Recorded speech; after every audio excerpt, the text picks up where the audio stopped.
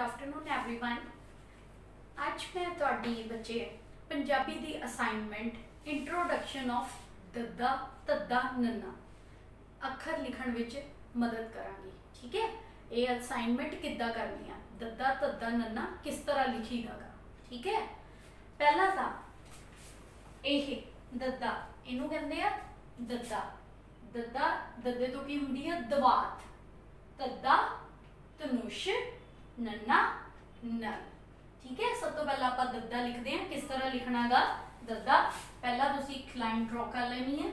ਠੀਕ ਹੈ? ਉਸ ਤੋਂ ਬਾਅਦ ਇੱਕ ਲਾਈਨ ਏਦਾਂ, ਬਿਲਕੁਲ ਸੈਂਟਰ ਤੋਂ। ਜਿੱਦਾਂ ਅਸੀਂ ਚੱਚਾ ਬਣਾਉਂਦੇ ਸੀ ਨਾ, ਇਸ ਤਰ੍ਹਾਂ ਕਰਕੇ। ਇੱਥੋਂ ਥੋੜਾ ਜਿਹਾ ਰਾਉਂਡ ਪਹਿਲਾਂ ਅਸੀਂ ਚੱਚੇ ਦੇ ਇੱਥੇ ਟੱਚ ਕਰ ਦਿੰਦੇ ਸੀ। ਪਰ ਇੱਥੇ ਏਦਾਂ ਨਹੀਂ ਕਰਨਾ। ਠੀਕ ਹੈ?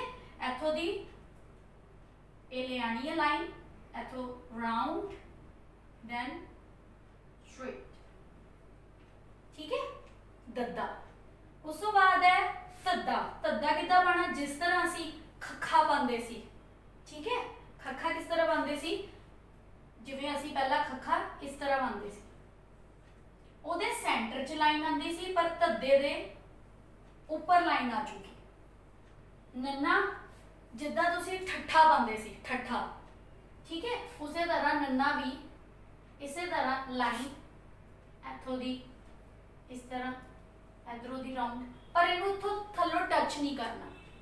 ਠੱਠੇ ਦੇ ਵਿੱਚ ਅਸੀਂ ਪੂਰਾ ਰਾਉਂਡ ਕਰ ਦਿੰਦੇ ਸੀ, ਪਰ ਇੱਥੋਂ ਇਹਨੂੰ ਖਾਲੀ ਰੱਖਣਾ ਰੱਖਣਾਗਾ ਇਹ ਹੋ ਜਾਊਗਾ ਨੰਨਾ। ਜਿਵੇਂ ਦੇਖੋ, ਤੁਹਾਡੀ ਨੋਟਬੁੱਕਸ ਦੇ ਵਿੱਚ ਆਪਣੇ ਕੋਲ ਸਿੰਗਲ ਰੂਲਡ ਨੋਟਬੁੱਕ ਹੈ। ਨੋਟਬੁੱਕ ਦੇ ਵਿੱਚ ਤੁਹਾਡੇ ਇਸ ਤਰ੍ਹਾਂ ਲਾਈਨ ਹੈ। ਦੇ ਵਿੱਚ ਪ੍ਰੋਪਰ ਤੁਸੀਂ ਕਿਸ ਤਰ੍ਹਾਂ ਇੱਕ ਲੈਟਰ ਲਿਖਣਾ? ਇਸ ਤਰ੍ਹਾਂ। ਉਸੇ ਤਰ੍ਹਾਂ ਤੱਦਾ।